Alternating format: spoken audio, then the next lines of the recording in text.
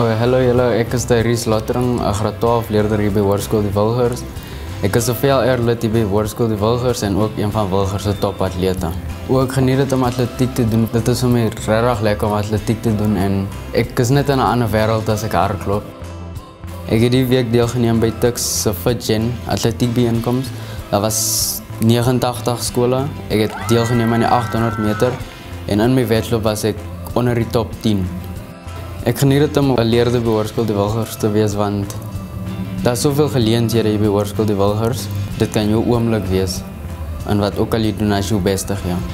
Ek gaan regtig jou onderwysers baie as jy by Hoërskool Die Wilgers want ek voel hulle het 'n regtig 'n groot impak op die leerders hier by Hoërskool Die Wilgers want hulle sien baie potensiaal in kinders en hulle spandeer soveel ure en hulle bes om die beste in die kind uit te bring. Wat vir my besonder is by Hoërskool Die Wilgers is ons skool se waardes, eerlikheid, respek en lojaliteit. Dit maak nog 'n regtig 'n groot verskil in ons skool.